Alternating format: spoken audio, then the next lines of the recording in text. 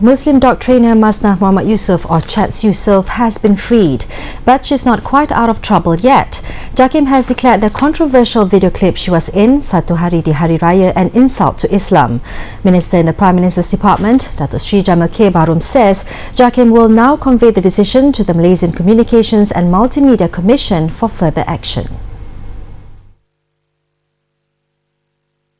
Communications and Multimedia Minister Dr. Sri Shabery Cheek had said on Thursday the MCMC will refer to Jakim before making a decision on the controversial video. Chetz was detained by the police on Wednesday after a three-year-old video of her celebrating Aidilfitri with her dogs was re-uploaded on YouTube.